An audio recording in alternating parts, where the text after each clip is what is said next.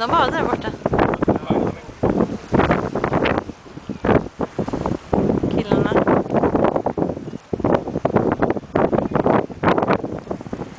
Fast det är varmt.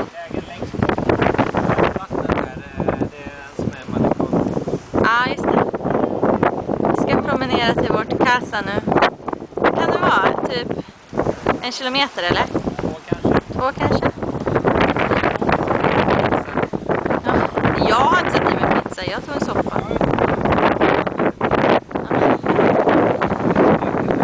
Ja.